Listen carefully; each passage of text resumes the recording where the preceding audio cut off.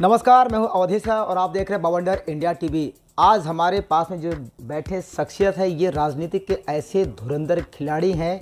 मीरा भाईंदर की राजनीति को ये बारीकी से पहचानते हैं, बारीकी से देखते हैं और इनके सामने कई नेता आगे हुए हैं। हम आज इनसे बात करने वाले हैं। आने वाले मनपा चुनाव के बारे में और कल गणपति बप्पा का आगमन हो रहा है उनके बारे में। सर, क्या कहेंगे? कल बप्पा का आगमन हो रहा है हर घरों में।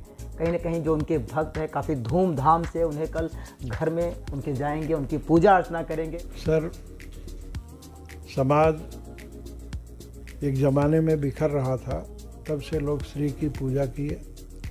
पंडित बाल गंगाधर तिलक ने जो लोगों को इकट्ठा किया, आज उसकी देन है कि इस साल अगर दस गणपति हैं तो अगले साल पच्चीस, पचास। आज हम देखते हैं कि उत्तर भारत के लोग इसको कम मानते थे, उनके घरों में ज़्यादा गणपति है। इस तरह हमको लगता है कि अब कोई अछूता नहीं रहा जो गणपति बप्पा के दरबार में न जाए। तो आज गणपति बप्पा के दरबार में कष्टभंजन है। लोग जाते हैं अपनी मुराद लेके, मुराद पूरी करते हैं और इस तरह धीरे धीरे इसका विकास हो रहा है। लोगों के, जैसे कि देवी प्रसाद उपाध्याय का जब भी नाम लोगों के जहन में आता है तो भाजपा के लिए कहेंगे या फिर राजनीतिक के विशेषज्ञ। और आने वाले मनपा चुनाव में रवि व्यास का एक नारा है, इस बार अस्सी पार। आपका क्या कहना है? कैसे पूरा होगा देखिए सर, भाजपा में मैं काम करता हूँ, लेकिन व्यक्ति विशेष या व्यक्ति जात पे काम नहीं किया। मैंने सारे लोगों को जोड़ने की कोशिश किया। यूँ कहिए कि उत्तर भारतीय ज़्यादा जुड़ गए। आज रवि व्यास के नेतृत्व में हमारे सात मंडल अध्यक्ष उत्तर भारतीय। हम तो ऐसा आपसे निवेदन करेंगे कि आप भी लोगों को बताइए कि मीरा भाईंदर एक गवाह बने महाराष्ट्र का, कि रवि व्यास जब अध्यक्ष बने तो सारे उत्तर भारतीय जिनकी परसेंटेज संख्या तैंतीस परसेंट है, आज सारे के सारे लोग जो है, रवि व्यास के नेतृत्व में काम करना चाहते हैं आप एक विषय लिए थे कि अब की बार अस्सी पार जी, हम जी, तो बोलते हैं अस्सी पार नहीं हम सौ के पार जाएँगे। जो युवाओं का हुजूम देखता हूँ उससे इतना मन प्रसन्न होता है कि आज उत्तर भारतीयों में भी जागरूकता जागी है।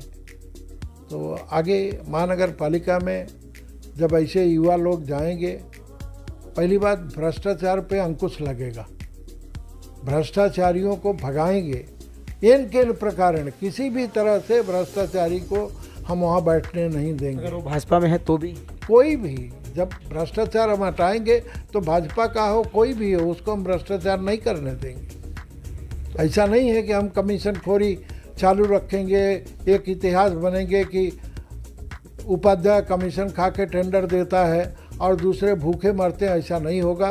सबको समान व्यवहार होगा और मेरा भेंदर का विकास होगा। आज जो टैक्स की चोरी हो रही है गटर की चोरी हो रही है साफ़ सफ़ाई की चोरी हो रही है ए, क्या सेल्फी पॉइंट बन रहा है। इससे मेरा भेंदर का विकास है क्या? यानी आप भी सेल्फी पॉइंट का विरोध कर रहे हैं? यस। सेल्फी पॉइंट की क्या गरज है?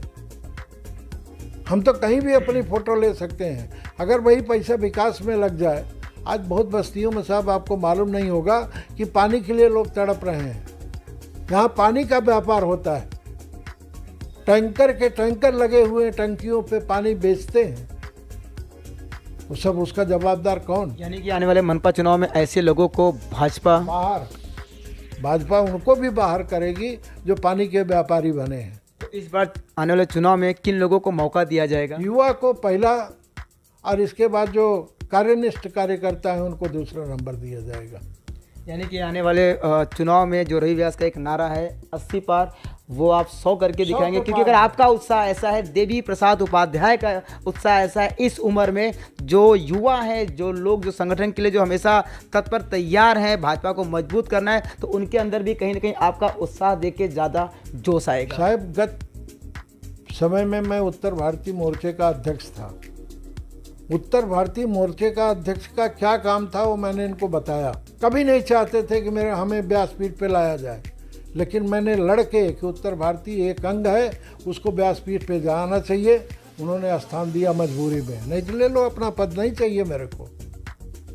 वो बोले, आपको पार्टी में रहना नहीं रहना है। हम पार्टी में रहना है, लेकिन ये प्राइवेट लिमिटेड में नहीं रहना है। तब से रवि व्यास के साथ हम लोग खड़े हैं।